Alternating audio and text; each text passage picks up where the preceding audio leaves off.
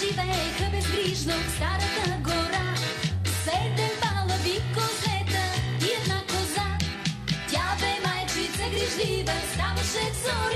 Естествено, каза се, че абсолютно всички от а, нашето поколение в екипа я помнят от малки. Разбира се, това не, не е а, въобще единствената и най-важната песен а, в кариерата на Мими и на Развигор Попов. Обаче ще ги включим сега. А, оздравели, така чухме, радваме се, ако е така. Ще ги видим и ще ги чуем. Добро утро!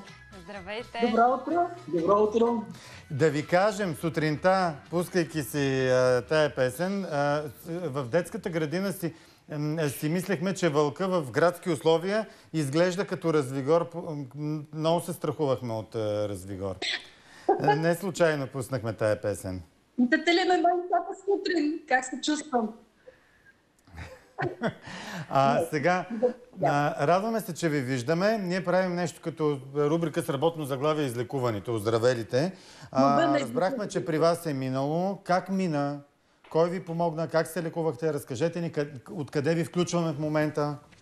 Вкъщи сме. У нас мина, според мен, според това, което чувам от други хора, явно аз съм била в средния, средно, средно осложнение, а развигър дори не разбрах, дори не знаех дали, дали е болен от COVID, защото той за, за два дни някъде вдигна една лека температура и след това нямаше нищо.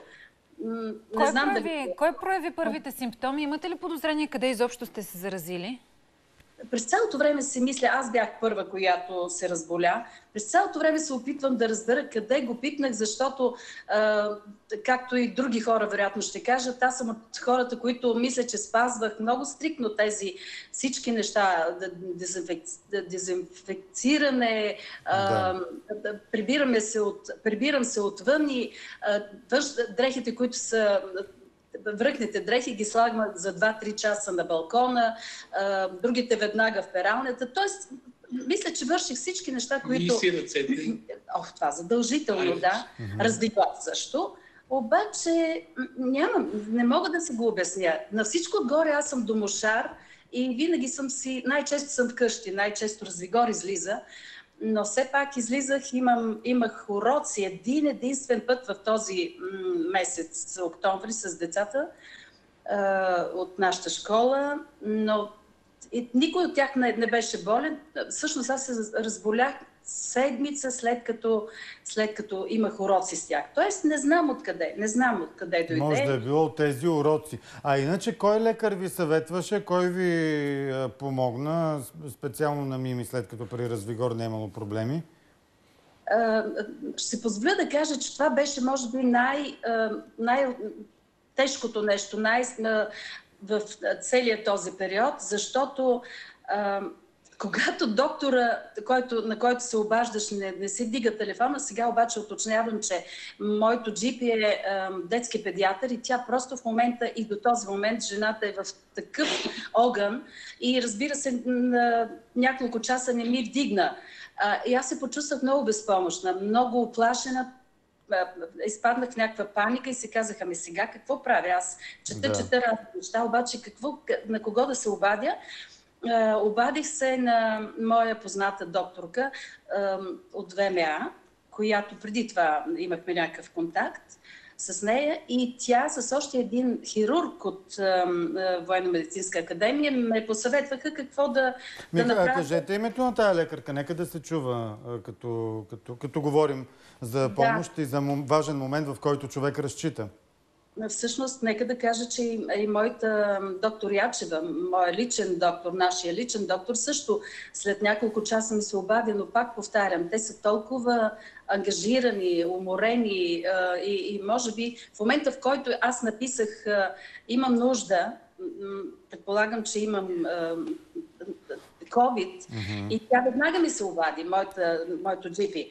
А, доктор Стояно, Стоянова, от, тя е гастроентеролог в Военно-медицинска академия, през цялото време държеше връзка с мен и, и ми помогна. Всъщност тя ми каза някакви лекарства, които да взема. Поздрави, поздрави на всички наистина лекари, които са ви помогнали и на вас лично в тази ситуация. С какви симптоми обаче вие потърсихте лекарска помощ и като стигнахме до лекарствата, какво приемахте за, за лечение, без да споменаваме наименования, само ви моля? Разбира се, да. Значи аз, аз и до сега нямам никакви осложнения. Малко е сутринно време такова и имам някакви хрипове. Обаче нито имах кашлица, нито гърло, гърло ме болеше, нито гърдите ми и до този момент дишам прекрасно, с изключение на, на едно задъхване, което едно след, е, като походя малко и усещам едно задъхване, една умора, но предполагам, че това, това не са е, тези ярките симптоми, аз да си кажа имам COVID.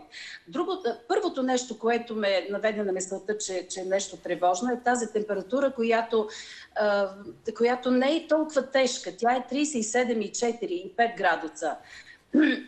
Имах силно главоболие. Очите ми ме боляха, така ме боляха, сякаш имам, имам 40 градуса температура. Да и, и някакви болки в ставите, такива като м- крампи. Не знам дали хората имат представа какво е това. А, и, и си през цялото време в едно такова състояние. Нещо те боли, а пък не знаеш какво. Финала ще е от Развигор. Какво казвате на хората, които не вярват в... А, въобще, че има такъв вирус? Как, как, как няма да, да вярват? Аз се чудя на, на такива хора. За съжаление, да, вече имаме и близки хора, които си отидоха, така че това, това е най-силният аргумент срещу техните фантазии, че нямало вирус, че това било. Но все още, ги, все още ги чуваме тук, софиянци, особено са активни. Не, не, има, има и, и има хора, които разбират много повече от нас всички. те са доктори, те са пулмолози, те са всякакви такива компетентни доктори в тази област, които трябва да ги чуем, трябва да, да слушаме да. техните съвети и, и, и да изпълняваме, защото те, те точно от това разбират. Какво Пожелавам разбират? ви а, много антитела и много те клетъчен имунитет. Тук всички вече сме в... Обучени научно. Да. А, благодарим ви много да сте живи и здрави. Пазете се, Мими и Развигор ги включихме от вкъщи, за да разкажете те своя опит. При тях всичко е минало да. а, леко и